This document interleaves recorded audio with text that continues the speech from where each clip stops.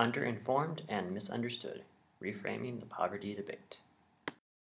According to the government, 15% of the American population lives in poverty. But what does that mean? As far as the government and most Americans are concerned, poverty means making below a certain amount of money each year. But is this definition enough to encompass the totality of what poverty is? We believe that it is time for America to reconsider poverty, to move away from basing our measurements solely on income and instead look at individuals and families' ability to achieve their basic needs. For those of you familiar with the terms, we can give you some insight by telling you that our ideal method of measuring poverty is an FCSU based capabilities analysis. But for those of you who thought that sounded like a foreign language, don't worry.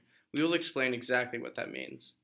The first important terms we need to establish are functionings and capabilities, which form the core of how we believe that poverty should be approached.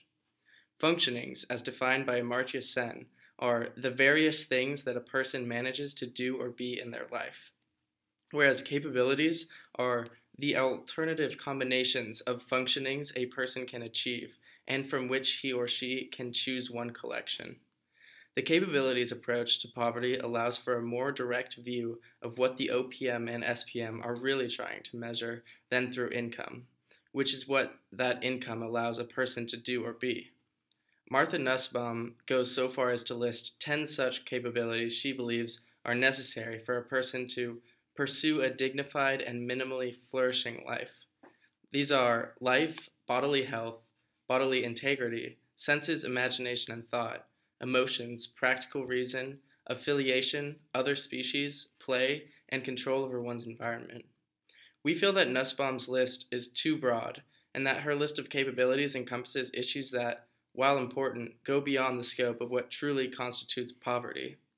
However, we don't want to throw the baby out with the bathwater.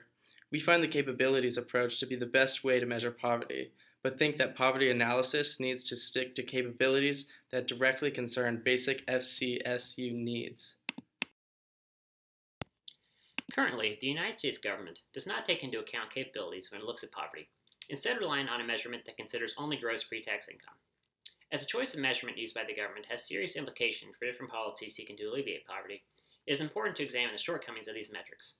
The official poverty measure, or the OPM, defines a threshold for gross pre-tax income that is three times the lowest cost food plan as defined by the government. The OPM is adjusted for inflation and family size, but other than that, it remains constant over time and does not change as standards of living rise or fall. While the OPM threshold may have at one time been sufficient to gauge poverty, it is woefully inadequate in the present day and age to give a clear depiction of poverty. Even beyond the fact that its basic assumption is not true, as nowadays families spend, on average, one sixth of their income on food, not one third, the OPM is completely incapable of taking into account the varying costs and opportunities that affect the impoverished.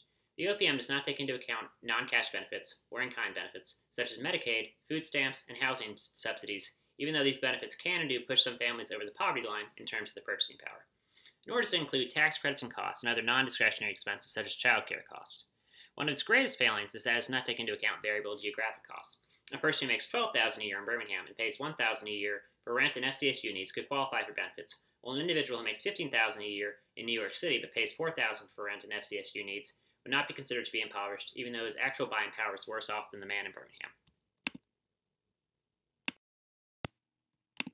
The Supplemental Poverty Measure, a proposed alternative to the official poverty measure, does, to its credit, deal with many of the problems inherent in the OPM.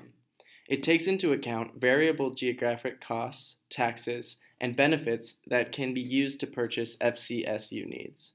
While this is a step in the right direction, the SPM still falls short of taking into account all of the relevant factors that are covered by a capabilities based approach.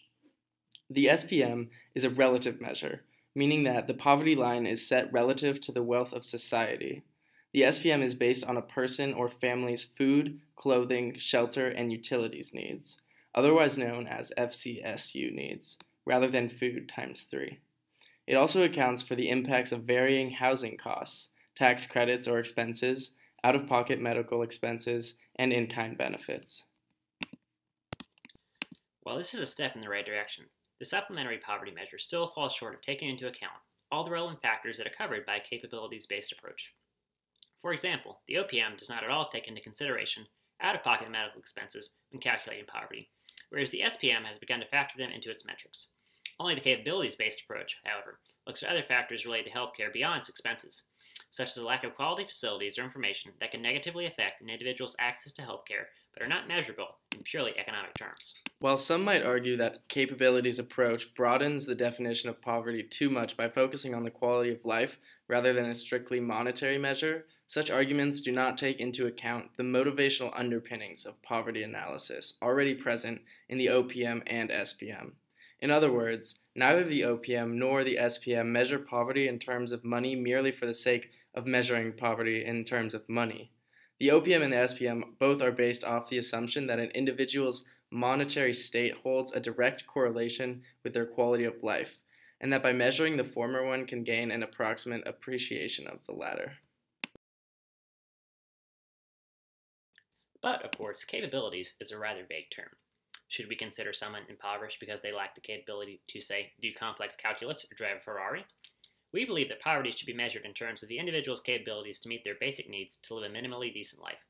While everyone might have a different conception of what one needs to live a minimally decent life, we're going to be relatively conservative and concern ourselves with the capabilities that allow individuals and families to obtain their FCSU needs, or food, clothing, and shelters utility needs. FCSU needs are the basic capabilities that every person should have. And we believe that any person without those capabilities needs the most immediate assistance, since the lack of those capabilities has the most profound impact on a person's ability to function in society. Although we agree that there are many other important capabilities that can have a huge impact on one's health and happiness, such as the 10 central capabilities outlined by Nussbaum, they should come after FCSU needs as a secondary poverty goal, once we can eliminate the truly urgent struggling in our country. Using income as a measure of poverty might seem to be only a step removed from measuring capabilities. However, it is a flawed measure. As a person can have an adequate income, yet still for some reason not be able to feed themselves. For these reasons, we want to define poverty in the U.S. today as whether or not a person has the capability to satisfy their FCSU needs.